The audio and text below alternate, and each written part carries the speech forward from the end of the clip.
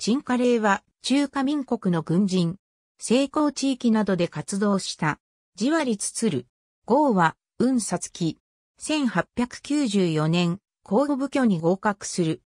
後に、日本へ留学して、陸軍士官学校を卒業した。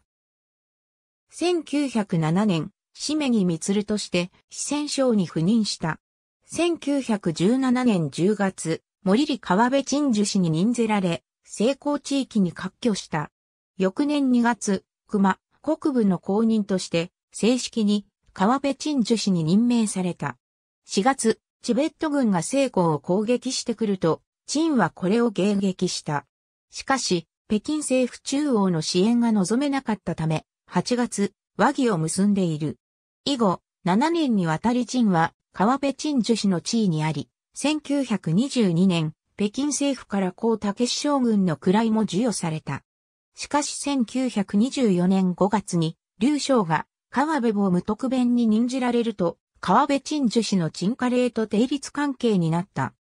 その後、陳は川軍指揮官である劉義弘の構成に押され、劉義弘は同年12月に劉将の公認として川辺坊無特弁に任じられている。1925年2月、川辺坊無特弁は、成功豚根氏に改祖され、引き続き劉義弘がその地位についた。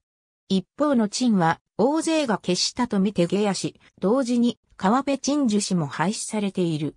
下野後の陳家令はしばらく北京に隠居していた。1937年に帰郷する。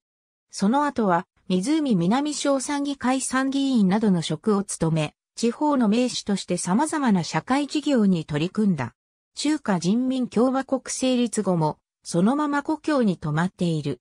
しかし1950年12月、陳家令は反革命罪を問われて、中国共産党により殺害された。